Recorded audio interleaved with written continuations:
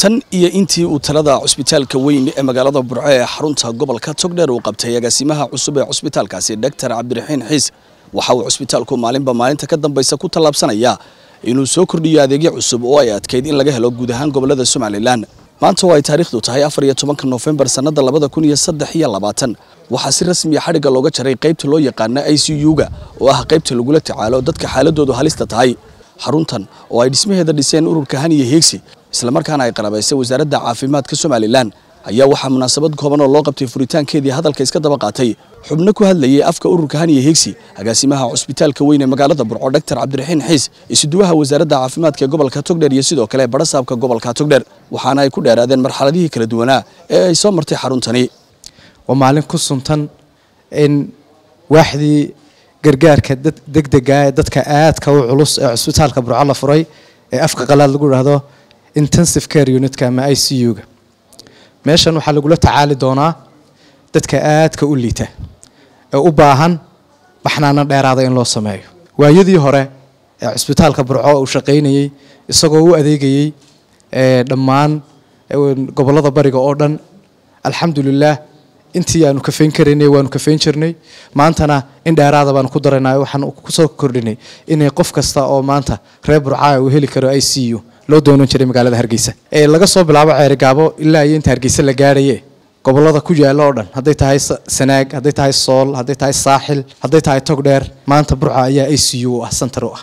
Waa meel loogu talagalay dadka aadka u liita in lagu xanaaneeyo u baahan dadka u baahnaa in loo rafeergareeyo ama hargeysa inta badan aynu geyn jirnay. Maanta in badan labiyo toban sariirood ayaanu haysanaa. Wasaaraddu way dadaalaysaa maantaba inta ay keentay way ku mahadsan tahay waa bointii wax laga bilaabo halkii ugu wanaagsanayd wey markaa maanta waxaan bulshada reer togdheer aan ogeysiin lahaa in cusbitaalkooda ay hoos u soo eegaan oo dhismayaal keliyata uma baahnee in waxyaabihii lagu sii joogtayn lahaa. Hadday tahay qalab hadday tahay agab caafimaad hadday tahay daaweyn inay maanta halkan la soo eego hoos loosoo loo soo darso. Ha lagu daydo haniyo higsi waxa wanaagsan baa layskaga daydaa oo laysaga masayra. Wax wanaagsan idinkuna soo qabta insha allahu tacaala.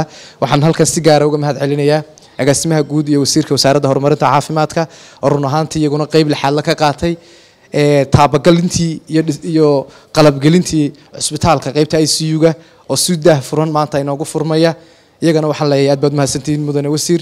Iyo agaasime waad arkaysaan alaabtii aynu dhignay iyo dhismihiiniba siday halka ay marayaan maanta.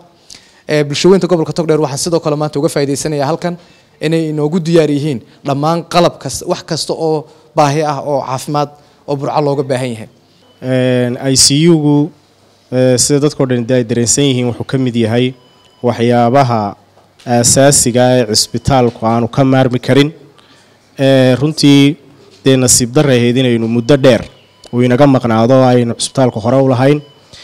Waa wax ilaahay loogu mahadnaqo oo cid kasta oo ka qayb gashay hirgelintiisa iyo iskudubaridkiisana loogu mahadnaqo oo loogu duceeyo ka hadla ururka haniya hiigsi horta waxqabadkiisi dee maasha alla waxyaaba badan buu qabtay. In badanna ma jirin waxoogaa buu dee iminka soo jiray. Ururkaasina waa dad muxsiniinahoo iskaashaday weeyaan oo ka soo kala jeeda gobollo badan.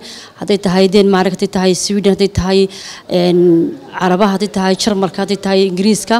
Waa dad magaranaysaay norway. Haddaan dee masoo ku magaalooyin badan markaa dee isugu yimi inay wadankoodii iyo gobolkoodii wax u qabtaan oo horumar gaadhsiiyaan. Madaxda cusbitaalkuna waa laga yaabaa inay dee wax kale iyo baahiyo kale soo gudbiyaan. Wadatashigeedana inaynu ka gallo. Allahuma salli calaa maxamed iyo wixii kale baahiyaha gobolka ka jira. Waxaan intaa ku soo gebagabeynayaa aad iyo aad baad umahadsantihiin dhammaantiin. Ururkan iyagsi waxa qabta waxyaabad fara badan oo waxtar u ah gobolka. Iminkana wuu wadaa waxaa nagu waajiba dhammaanteen maamul ahaan bulsho ahaan qolqoljoog ahaan qoblojoog ahaan inaynu dhiirigelinno u mahadnaqno sheegno oo xusno. Laakiin waxaynu u baahannahay si uu bulshadeennii u sii anfaco u sii joogtayno inaad iskala kaayr garab taagtaan halkaa inaan nagaga hadhine qalabada waxyaabaha iminka ugu muhiimsan waa waa qalabka waayo waxaan waa mashiino warshad wadankii leeyahay oo soo saaraysaana ma jirto. Idinkaa nagaga dhowdhow eriyadii laga soo saarayey dhulkii laga soo saarayay idinkaa nagaga dhowdhow.